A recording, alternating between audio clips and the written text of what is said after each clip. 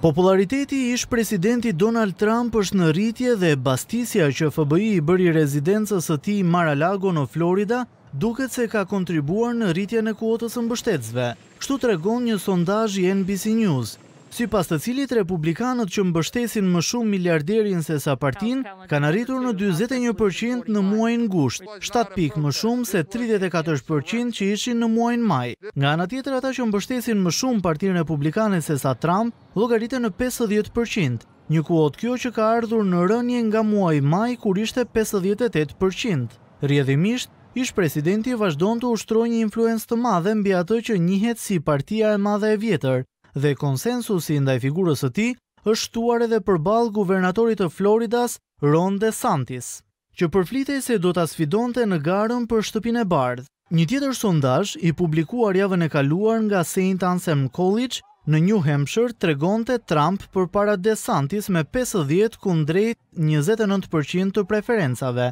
ndërsa në qershor, Një tjetër sondazh i Universitetit të Nju Hempshërit tregonte të kundërtën, me një rritje të preferencave për guvernatorin kundrejt miliarderit të pasurive të patundshme.